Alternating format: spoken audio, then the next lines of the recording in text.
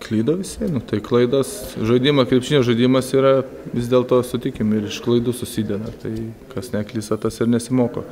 Bet tik gaila, kad išsimetant tautą yra daug variantų, daug sprendimų, tu gali galų gale penkias sekundės, kai išmetai, turi mesti važovo kojas, dar reiškia, nu, nesudirba kažkas. Toks pasimetimas iš tikrųjų, galiu pasakyti, keli tai perdami tokie buvo tikrai pasimetimas. Ir, ir, ir, o angri, mes daug klaidų padarėm greitam polime, polime. Kai per, atkovojom kamuolį, pirmas pasas, antras perdavimas ir neišsirenkam situacijų, kur duot, kur laisvam, arba užlaikom kamuolį, nelaiku duodam. Tai va, tik tiek dėl, dėl to.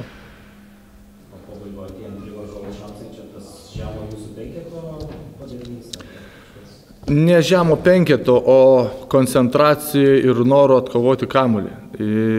Čia visose ir vaikų amžių, ir vyro amžių tos, ta pati problema po metimo visi eina kažkodėl po krepšių. O juk ten pasimsi kamuolį, jeigu įkris. Jeigu neįkris, jis dažniausiai atšoka toliau. Tai va, kadangi jie bėga, tikisi turbūt, kai mes atšoka kamuolys toliau, va, va čia ta problema. Savetskis šiandien sužaidė neblogas rungtynes, 26 naudingumo balai, 8 rezultatyvus, perdami 8 kovoti kamuoliai ir tritaškus pataikė. Šiaip tritaškus treniruotės pataiko Mes visi banguojam labai su pataikymu. Vieną dieną vienas pataiko, vieną dieną kitas pataiko. Nėra pas mus stabilumo, nes yra jauna komanda ir nėra ko norėti. Nėra stabilumo. Čia yra stabilumas yra pirmas meistriškumo požymis. Jeigu tu vieną dieną įmeti, kitą ne, tai reiškia tavo meistriškumas žemas. Bet jis vyras šaunuolis tobulėja.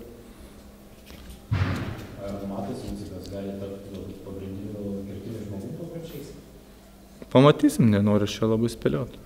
Šiaip jisai šaunuolis gerai ginasi. Svarbiausia, kad žmogus daro tai, ko treneriai nori iš jo. O čia yra svarbiausias dalykas. Prieš šiandien minus 13 naudingumo balų, teko matyti šiek tiek tokią statistiką. Jo, jisai irgi banguojantis žmogus. Labai banguojantis. Jis turi dvi varžybas labai blogas, dvi varžybas geras. Ir va taip. Bet aš negaliu jam nieko sakyti dėl gynybos. Jisai gerai gynėsi. Jisai, pažiūrėkit, mūsų didžiausia problema būdavo gynyba. Ir mes praleidom po šimtą taškų ir gauni 40. Tai aš atsirinkau žmonės, pastebėt kelintos varžybos, tie, kurie labiau gynasi. Nes e, mes pradžioje kaip ir buvo tokia strategija, gerai žaidėm per draugščias nuo polimo.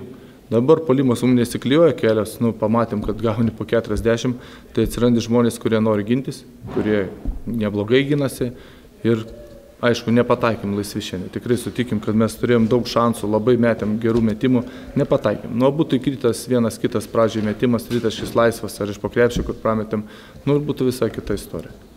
Tai va. Tai. Ypač gynyboje. Tik, aišku, mes didesnį dėmesį skiriam, bet aš sakau, atsirinkom žmonės, kurie nori gintis, nori, kurie nori kovoti. Taip, nes jau yra labai didelė problema gynyboje.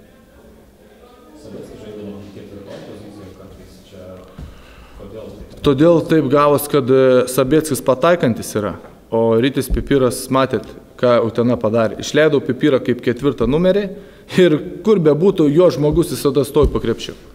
Ir jisai metė keturis metimus visiškai laisvas, galėjo koją užsibraukti. Bet visi metimai ėjo pro šalį. Tai aš išleidau Sabėcį, kad bent jau prikabint prie jo žmogų gynėją, kad mes galėtumėm du prieš du sužaisti ir paduoti po krepšį. O jeigu padėsim, mes laisvas, taip ir buvo. Pamačiau, kad gali.